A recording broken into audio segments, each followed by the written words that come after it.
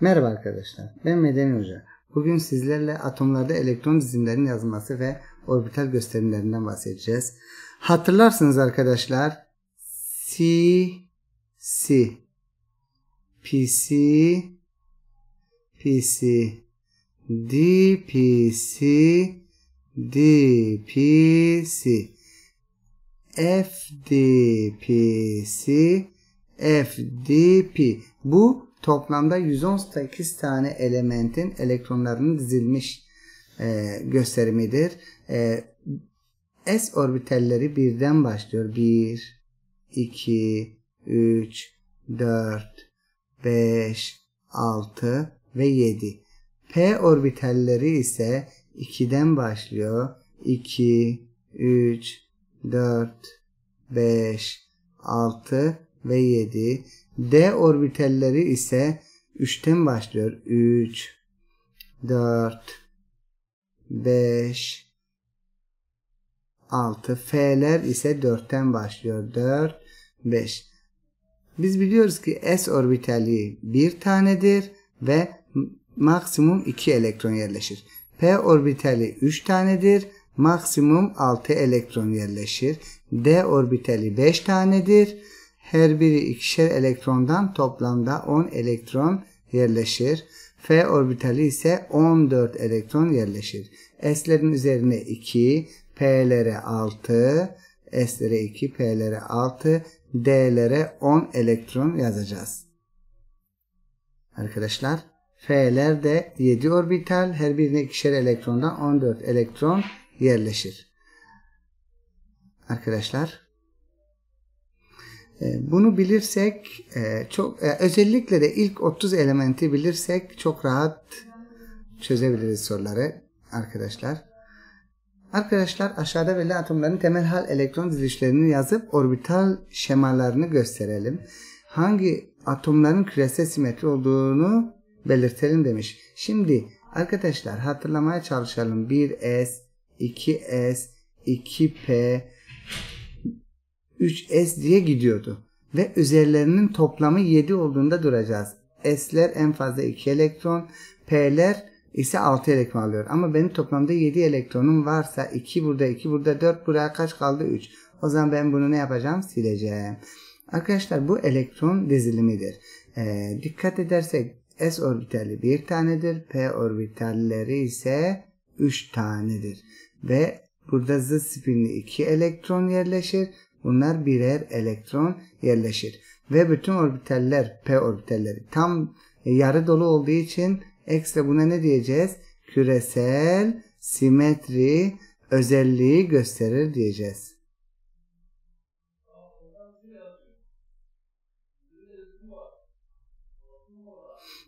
Buna baktığımızda ne diyeceğiz arkadaşlar? 1S, 2S, 2P, 3S, 3P, 4S diye yazalım. Arkadaşlar S'lerin üzerine 2 geliyordu. P'ler 6, S'ler 2. E, 18 olduğunda duracağız. 2, 4, 10, 12, 18. O zaman şunu silelim. Arkadaşlar S orbitali az önce söylemiştik. Bir tanedi. P orbitali 3 tane. S orbitali pi 1, P orbitali ise 3 tanedir. Her birine zıt spinli maksimum 2 elektron yerleşiyordu. Bunlar da orbitallerdeki gösterimidir. Son orbitaller tam doluysa biz buna ne diyorduk? Küresel simetri özelliği gösterir diyoruz. Kürde bakalım arkadaşlar. 1S2 şöyle 1S 2S 2P 3S ve 3P'ye kadar yazalım. Bakalım yetiyor mu bize? S'lerin üzerine 2, P'lere 6, S'lere 2 yazdığımızda buraya kadar 12. P'ye ne kaldı? 4 kaldı.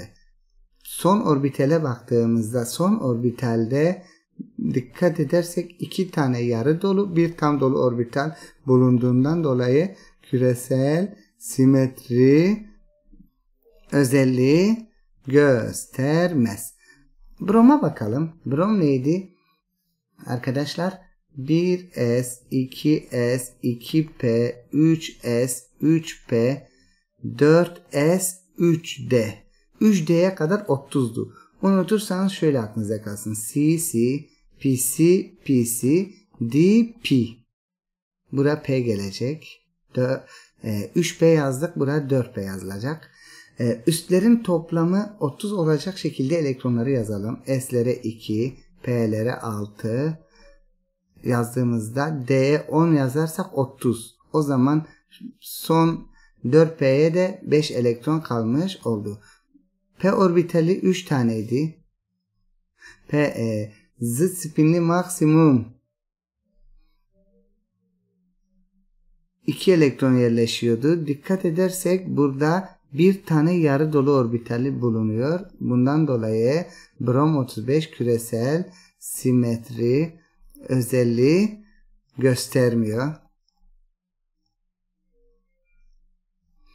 Mangana bakalım arkadaşlar. Mangan için 1S, 2S, 2P, 3S, 3P, 4S ve 3D yazdığımızda Arkadaşlar S'lerin üzerine 2, P'lere 6, S'lere 2, P'lere 6, 4 S kareye kadar 20. 5, e, D'ye de 5 elektron kalıyor.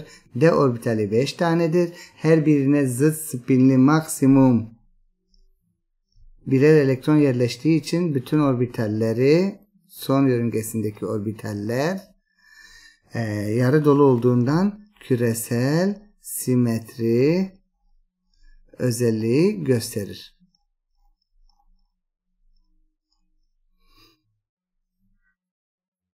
Devam edelim. Bu soruya bakalım. Sodyum atomunun iki ayrı durumuna ait elektron dizilimleri aşağıda verilmiştir. Sodyum birinci durumda sodyum 11'in 1s2, 2s2, 2p6, 3s1 diye bittiğini, ikinci durumda sodyumun 1s2, 2s2, 2p6, 4s1 ile bittiğini söylemiş. Dikkat edersek burada 3s yerine 4s yazılmış. Yani buradaki bir elektron daha yüksek enerjili bir ortama götürülmüş. Yani bunun adı uyarılmış hal olur. Uyarılmış hal. Yani kararsız. Diğeri ise temel haldir diyeceğiz. Birinci durum temel hale aittir. Doğru. İkinci durumda uyarılmış haldir. Doğru. Ee, uyarılmış hal enerjisi fazladır. Çünkü enerji uygulanarak uyarılmış hale gelebilir. Kararsızdır. Enerjiler birbirine eşittir demiş. Yanlış. Her iki durumda kararlı hayır uyarılmış hal kararsızdır. Çünkü zoraki yüksek enerji uygulayarak daha yüksek enerjili bir ortama götürmüş bulunuyoruz. Cevap 1 ve 2. Bir sonraki sorumuza bakalım. Bu bir bu özel durum. Özel durumu şöyle anlatayım. N S 2 N eksi 1 D 4 ya da bu birinci durum yazalım. İkinci durum N S 1 ns 2 n eksi 1 d9 nasıldır gösterimi? S'ler 1 orbital p'ler d'ler ise 5 orbitaldir burada da 4 elektron var böyle bir gösterim gördüğünüzde yanlış olduğunu bilmeniz lazım bu uyarılmış halde değil yanlıştır bunların enerjileri birbirine bire yakındır. Yakın olduğu için kendi isteğiyle bu bir elektronunu buraya gönderecek. Gönderdiğinde bu ns1 n-1 d5 ile bitmiş olacak. Ve daha kararlı bir yapıya, küresel simetriye ulaşmış olacak. Diğer bir özel durum S2 D9. D9'u yaz, yazdığımızda dikkat edersek burada bir tane boşta elektron kaldığı için böyle bir gösterim bunlar özel bir durum yanlış olduğunu bilmemiz lazım. Ee, buradaki bir elektron buraya transfer ediyor. Kendi kendine ediyor. Dışarıdan e, biz enerji uygulayarak elektronu diğer tarafa göndermediğimiz için e, bu aşağıda yazdığım uyarılmış hal değil. Kendi isteğiyle bir elektronu gönderdiği için kararlı oluyor ve daha küresel simetriye sahip olduğundan aşağıdakini doğru kabul edeceğiz. Şimdi kromu yazalım. Krom 24. Krom 24 neydi? 1s2, 2s2, 2p6, 3s2, 3p6, 4s2 yazdığımızda 20 yapıyordu. 3d4. Aa eski d4. Eski d4 gördüğümüz anda yanlış olduğunu bileceğiz. Bunun doğrusunun 4s1, 3d5 olduğunu hatırlamamız lazım. S'ler 1, D'ler de fazla çizdik. 1, 2, 3, 4, 5 elektron yerleşecek. Yani 6 tane yarı dolu orbitali var. Ee, diğer bir örneğimiz ise bakırdır. Bakır 29, 1S2, 2S2, 2P6, 3S2, 3P6, 4S2, 4 eskiye kadar 20 idi. 3 D9. Aa eski D9 gördük. Eski D9 diye bir şey yok. Bu yanlıştı. Doğrusu nasıldı? Buradaki bir elektron buraya gönderildiği için doğrusunu buraya yazalım. 4S1 3D10 olması lazım.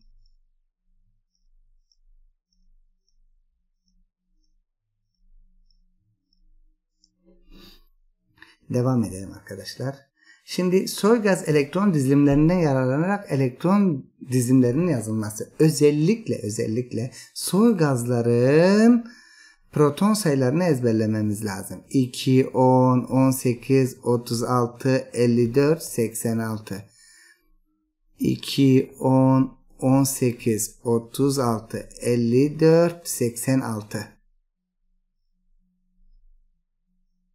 e, helyum, neon, argon, kripton, ksenon ve radon. Bunları bilirsek e, çok çok rahat elektron dizimlerini yazabiliriz arkadaşlar. Hemen berilyuma baktığımızda berilyum e, ben helyumu hatırlayayım. Helyum 2 idi. E, neon 10'du. Argon 18'di. Kripton 36. Xenon 54, radon ise radon ise 86'dır arkadaşlar. Berilyumu yazdığımda helyum var karşımda. Helyumu önce yazıyoruz. Helyumdan sonra ise e, bu birinci katmandır. İkinci katmanda 2S2 yazılır. Mesela burada e, 10'a kadar neondur ikinci periyot soy gaz neon. O zaman neonu yazdıktan sonra üçüncü periyotta 3S2 3P1 yazılabilir. Kükürt için yine neon 10'dur. Neondan sonra 3S2 3P neon 10 12 16 olur. Nikel için ben argonu biliyorum 18. Argondan sonra 4. periyottaki elemente geliyor. 4S2 20 3 de 8 ile bitiyor. E, selenyum ise ben argonu biliyorum. Argon 18. 4S2 20 yaptı. 3D 10 30 yaptı. 4P 4 ile bittiğini bilmem gerekiyor arkadaşlar. Bu da soy gazda e, elektron düzenlerinin yazılmasıdır. Bu örneğe bakalım. 4P3 ile biten diyor. 4P3 dikkat edersek e, 4P3 diyorsa bundan önce 4S kare 20 3D10 30 4P3 33 ile bitiyor. Öncesinde ise argon var. Argon elementi. Burası e, 18'dir. 20, 30, 33. X'in proton sayısı 33'tür. Yazalım. Proton sayısı 33. Devamında diyor ki nötron sayısı ise 42 olursa kütle numarası da 75 bulunmuş olur. Kütle numarası 33'tür doğru. P3 ile bitiyorsa P orbitali 3 tanedir ve üçlü de yarı dolu olduğundan küresel simetri özelliği gösterir ve kütlenin arasında bulduk 75'tir. Bir sonraki sayfa geçelim. Ne diyor arkadaşlar? X15 1S2 2S2 2P6 3S2 3P3 ile bitecek. P3 ile bittiği için 3 tane yarı dolu orbitali vardır. E, S'ler 1, P'ler de 3 orbitaldir. E, bunlar tam doludur. 1, 2, 3, 4, 5, 6. 6 tane tam dolu.